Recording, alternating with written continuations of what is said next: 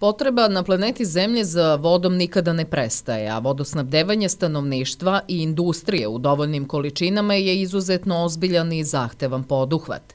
Izradom prostornog plana područja posebne namene sa idejnim rešenjem za kumulaciju bogovina, a potom i dobijanjem lokacijskih uslova izradom projektno-tehničke dokumentacije i dobijanjem građevinske dozvole započela bi realizacija jednog velikog projekta koji je izuzetno značajan za ovaj deo Srbije.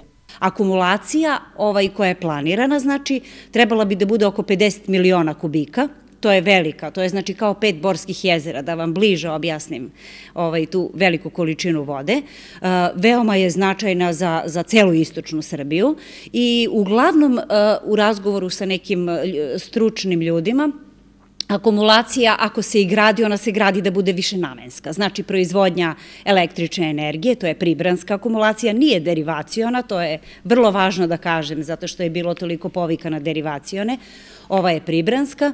Ovaj, zatim ima ogroman turistički potencijal, poljoprivreda, ovaj, 7000 hektara, ono što je stajalo, opet ćemo da to sve detaljno, dodatno, znači damo građanima najnovije informacije, ali 7000 hektara bi trebalo da se navodnjava i, i naravno da svi građani imaju pijaću vodu. Znate, u 21. veku vi ne možete da nemate vodu za piće, da vam je to problem, da neko selo. To je jednostavno sastavni deo života. Samo možemo, znači, da nadograđujemo, da nastavljamo, da to bude mnogo bolje i kvalitetnije. Prema rečima VD direktora javnog preduzeća Bogovina, prostorni plan posebne namene radi se zato što je neophodno promeniti granice akumulacije, ali je takođe potrebno i sve to uskladiti sa najnovijim ekološkim standardima. Bio je problem zato što je prethodnim prostornim planom voda ulazila u Bogovinsku pećinu.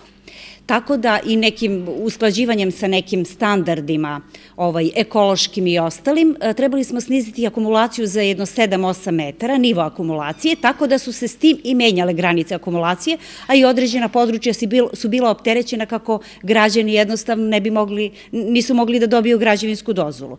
Ta planska dokumenta se rade uglavnom godinu dana, možda godinu i po dana, ovaj, tako da na proleće bi trebala da bude pokrenuta javna nabavka i kad to bude krenulo, ja se nadam da će se to završiti 2023. 22. sigurno neće, jer ne može kraće od godinu dana, kažu 9 meseci do godinu i po dana, pa ja se nadam da će biti to završeno 2023. Kad, kada ćemo kada se sve to bude završilo i ovaj doći, uzeti, doći do lokacijskih uslova. Eto, to je jedna velika stvar. Šta sledi dalje? Sledi dalje jedan sastanak sa osnivačima, da se radi projekat za građevinsku dozvolu, projekat za izveđenje radova, sve to kako treba i to na kraju preuzima država da gradi. Prostornim planom Republike Srbije za period od 2021. do 2035. godine na listi prioritetnih akumulacija stoji i akumulacija Bogovina – U skladu sa značajem kompletnog projekta za vodosnabdevanje određenih opština u istočnoj Srbiji, a uzimajući u obzir ograničena finansijska sredstva u lokalnim budžetima, javno preduzeće Bogovine je zajedno sa osnivačima pokrenulo inicijativu da se finansijska podrška za realizaciju ovog projekta zatraži od države.